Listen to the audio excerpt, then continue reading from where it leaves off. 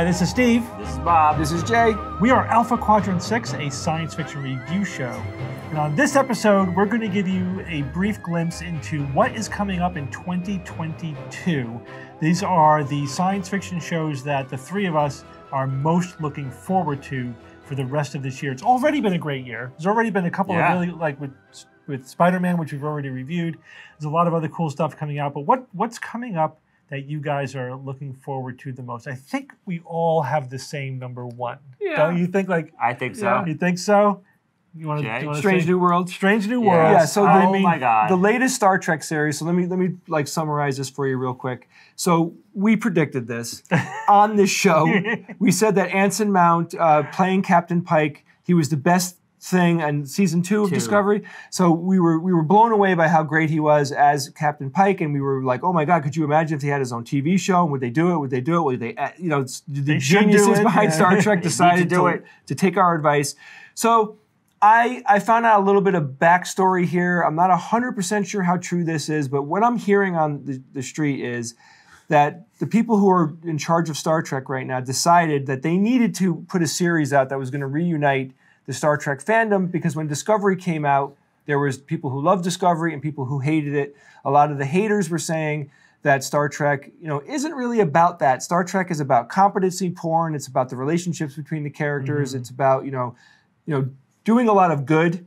Um, and I, I have a, uh, I really enjoy the episodic format better. This is basically like you know, one hour show. They have a mission, they go do it, and then the mission is over, and then rinse and repeat. Right. Planet of the Week, Alien of the Week So, scenario. Star Trek: The Original Series, Star Trek: The Next Generation, largely had episodic episodes. Now, yeah, they have an but arc. with but you got to have these plots that arc through this episodic Sure. episodes. And you could have you could have ones that, that are multi um, seasonal Yeah. plots. uh, Plot Like arcs the as well. Borg was a great plot line for for next gen. But I'll tell you, in the original series, like the most important thing was the relationship of that bridge Yeah. crew. I loved every character, and they all had their own thing going on, and, I, and I find that to be so provocative. So that's what it seems like they're doing. That's what we really hope that they're going to do. Um, I watched all the previews. Of course, they're going to do that. I mean, how you're not going to do this series and not make it as close to the original series as possible. I, I think you're right. I mean, this is this is the best chance that we're ever going to get to get a series that is similar to the original series, but a modernized version Yeah. of it, right? Because Right. I, God forbid, Even though it's in the another reboot. No reboots, man. I hate the reboot. I don't like anything to do with rebooting. I just don't do that. Like, write a different story. So now they chose Captain Pike. It's great. It's perfect.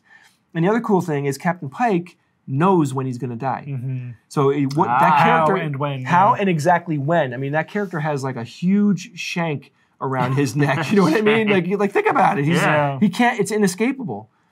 and we get young Spock. Yeah, which know? is which is fantastic. Spock, hello. Yeah. Yep. What else do we got to say?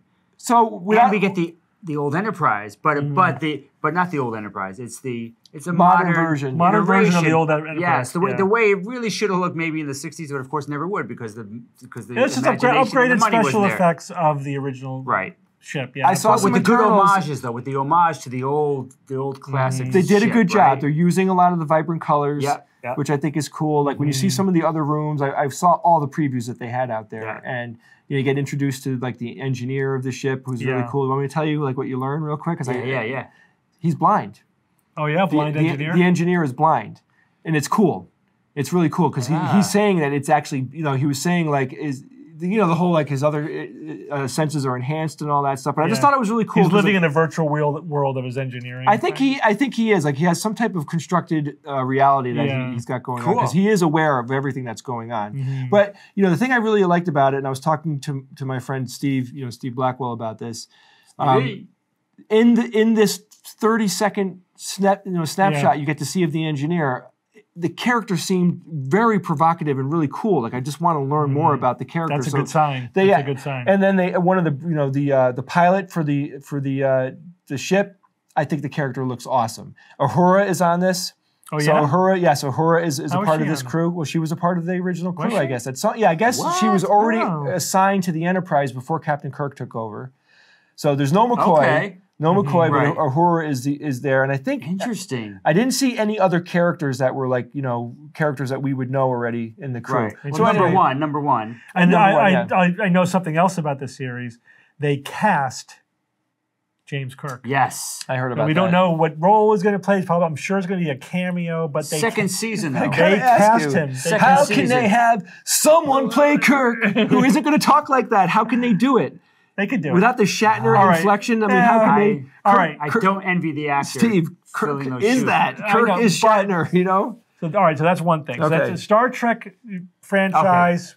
Okay. We're going to get um, Strange New Worlds. We're really looking forward to it.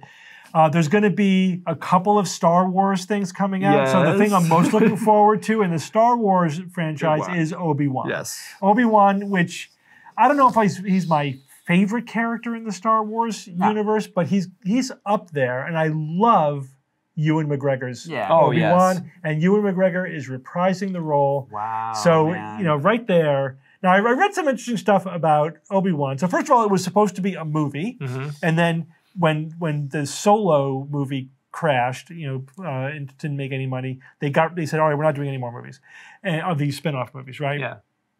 So they said, but what we're going to do is just we'll do um, like limited series, which I think is better Okay, anyway. Do we know how many episodes we're getting? I heard that it's to be six. Okay, so Six. six, hours ish. Six. Uh, they they at one point they, they went down to three, but then I think they're back to six. really, I was joking. Holy No, crap. but they really did. They, so I think they're back to six. They also so here's an interesting thing. They they had the whole thing written. The six episodes were written, and um, then they gave it to Favreau to look at, Yep. and he's like, "This is way too similar to the Mandalorian because the plot Whoa. was going to be Obi Wan taking you know taking care of a young Force user."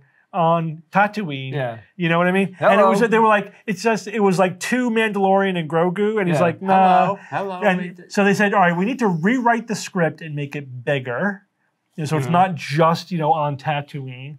Um, and so they they did they rewrote it. I like and, that. Um, and they and it looks like it's going to be good. So um, So I'm we- looking forward to it. Watch the preview. right? watch the trailer. Yeah, It is dark Mhm. and it's gritty. dark and gritty, which I love. It's not. Yeah. It's really the, the, of anything I've ever seen in Star Wars. This is not kid oriented. It doesn't feel like it's kid oriented. You know, meaning That's just a little. It's a little bit grungier. It's a little bit darker. This is a dark time Yeah. in the in the storyline. And I Real love the oh God, darkest. This is like the real dark.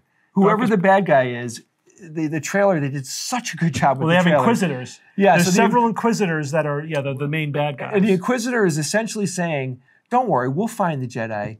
It's like you know, it's kind of like a sickness what they have. Like they leave a trail wherever they go of their mercy. You know, yeah, how good they, they are. can't help but be good guys if they'll give themselves away. Yeah, Whoa. it was And- so dark, Nice, Bob. It was really cool.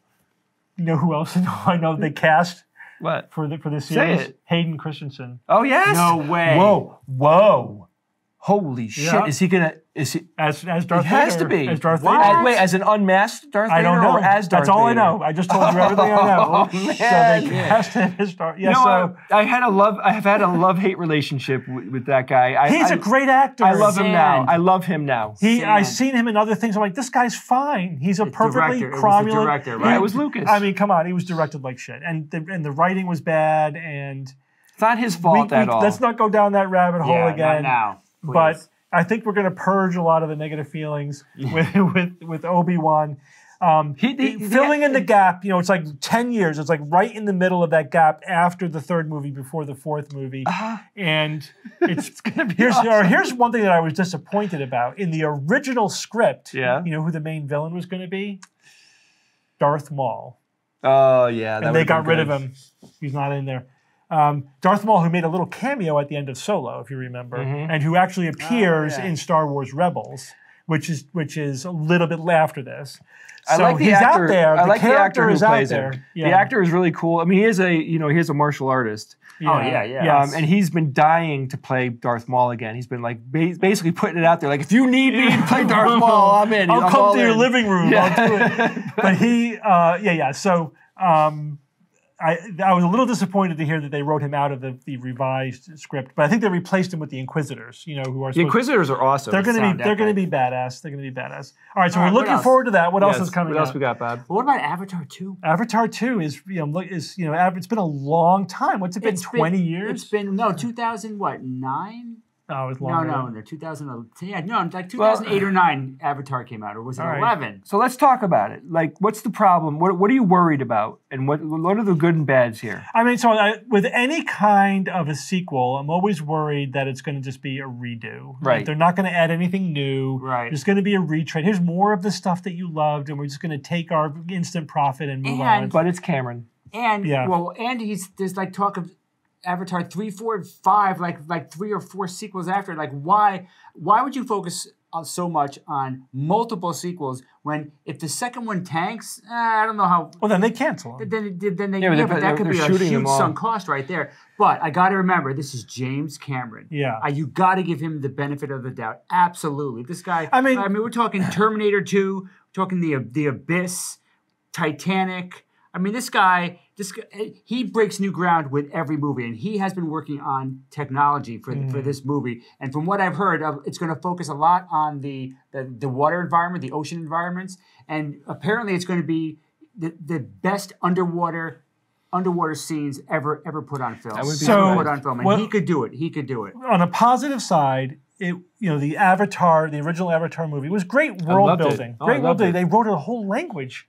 They wrote the Na'vi And language for it. It was very, very scientific. Very, they, Yes. they took it seriously to make it uh, like a hard, It was hard good. I'm not sure about the floating rocks things, but they Well, was yeah. otherwise good. And so it's an interesting world, good world building, interesting culture. So if they, so again, that's a great starting point, great backdrop. If they have good storytelling, it'll be great. Yeah, Right. yeah. As If they're usual. just if they're just phoning it in to just make a quick buck off of Avatar, it's going to suck. And that's not Cameron. Cameron to me So- doesn't doesn't do that. So I, I have high hopes for High it. You know, hopes? I honestly like when I think about the world, I'm not Mm-hmm. sure where they're going to go with the story.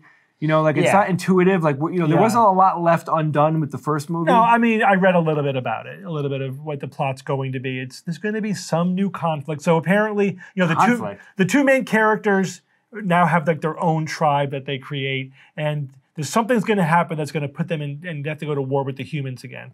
So.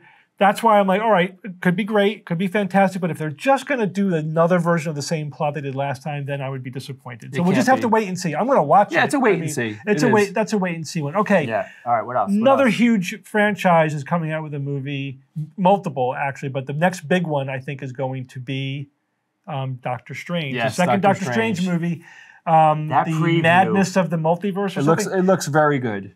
That the preview was amazing. Knocks your socks Yeah, off. really. Like, And here we are with the multiverse again, right? well, mean, I think th- I think Strange is like at the focal point of the multiverse, Yes, as yeah. we got a sort of a hint at in the, Spi- in the Spider-Man movie, No Way Home. Doctor Strange, I think, is what's going is the nexus point. And if you, I loved the episode. If you remember the the show What If, which I think we reviewed, we reviewed What If, right? Yeah. Um, was one of the best episodes was the Doctor Strange episode, you know, where he basically destroys an entire universe. I hate when Uh, that happens. He can get really powerful, you know, Yeah. and he can cast spells, as we learned in Spider-Man, that can affect the you know the the, the multiverse, that can bridge the multiverse. So that's what's what's going to happen. Um, and again, I think that it has tremendous storytelling potential. I love Benedict Cumberbatch. I love the Doctor Strange character. I think they underplay him a little bit. I was my my big disappointment with Doctor Strange as a character is that they have a brilliant scientist learning magic. And the to me, the obvious connection there. Why is he so powerful? Because he he's when do when do you ever have a scientist learning magic? He's taking a scientific approach yeah. to how magic works. He's deconstructing it. He's, he's, he's taking a reductionist scientific approach to magic, and he makes it more powerful than anyone who Yeah. came before him. He wrings did. more out of it than yeah. everybody else. can. Anyway, I think they don't really play that up. No, they kind of they didn't dropped go it. enough yeah, they kind of dropped that, but Well, now, they- now he's just super powerful. But but I still love the character. Well, all the elements are there, right? It's Yeah. it's Marvel. Um, you know, Cumberbatch is amazing. yeah, we already. although love, his American accent's a little dodgy. he's getting better. He, uh, you know, Penguin. the character. Yeah, that was right. Penguin. the character is very good. Yeah. You know, I loved, I love Oh, Doctor can't wait for the Strange. movie. You know, I, I love this version of Doctor Mm-hmm. Strange.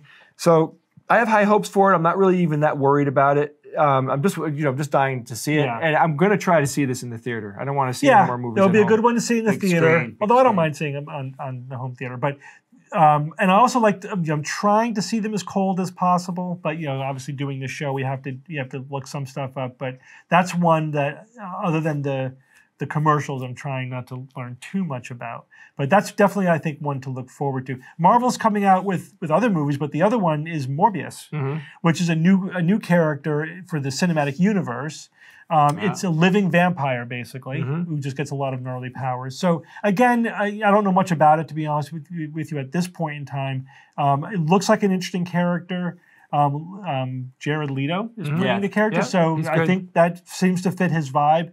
Uh, so there's a lot of potential there. That is his vibe. Yeah, that is his vibe. yeah. right? Um, an- another Marvel, since we're on the Marvel chain, I saw the first episode of Moon Knight. yeah. Yeah. Bob, you watched it with us? Yeah. And it's Different- starring different, weird. Yeah, uh, Oscar Isaac, who's did a great job. Um, it was a very intriguing first episode. Again, a brand new, again, to the cinematic universe. I know it's in the based on comic book characters, but in the cinematic universe, a new character with a lot of a different vibe. You know, the, he's you know right you learn right off like and you know that it's the the it, the guy has a split personality where he you know he his um his his day character you know is doesn't even has no experience of the superhero character so the first episode you're just with the ordinary character and where the gaps in there are, where there are gaps in his stream of consciousness where just suddenly it's it's a day He's later somewhere else. and, Wow. and his jaw's busted and he's like what's what happened you know um, That would suck. you don't even get to see the see the the superhero the moon knight till the end of the first episode really intriguing well done oscar isaac does a fantastic job in that I- first I want episode. more. I wanna see what happens. absolutely so that's looking forward to seeing the rest of that season as, as well I'll get right on that. I haven't seen it yet. it's very good very good What All right. How about um, Dwayne Johnson, The Rock, as Black Adam? black adam i know That wow. so it's dc universe Right, but uh, that looks. I mean, just to have him as a. This is like imagine an, an evil Captain Marvel, basically, right? I and, they're calling him anti-hero not a villain Right. but yeah Well, yeah, this guy looks. I would do not want to get on the wrong side of this dude. I mean, he, he looks like a, like an evil Superman. Uh, he, he's Yeah. intimidating because it's The Rock. I mean, he's got yeah. the charisma, and when he's going on the the dark side, it's like, damn, man, you walk away. and he makes kind of an anti-hero Justice League kind of thing. You know, Oh, really? Very DC, yeah. um, Well, yeah, I just know like I the, qu- the quickie him. version of the character is that he was some kind of Egyptian, Egyptian. god hero thing from 5,000 years ago, and he got locked away for 5,000 years. And he's pissed. And now he's pissed. So that's No, he's like, no one's taking me I'd be down pissed too. I mean, think about it. That would suck. True, but Right. he looks cool, man. All right, All right. guys. So we recommend that you uh, you watch all these. We're really excited about them. We're going to see them. If uh, if you want to learn more about Alpha Quadrant Six and see some more of our episodes, you can go to alphaquadrant6.com. That's Alpha Quadrant and the number six. Or if you want to help support this show, you can go to patreon.com forward slash alpha quadrant six, and we will see you next time.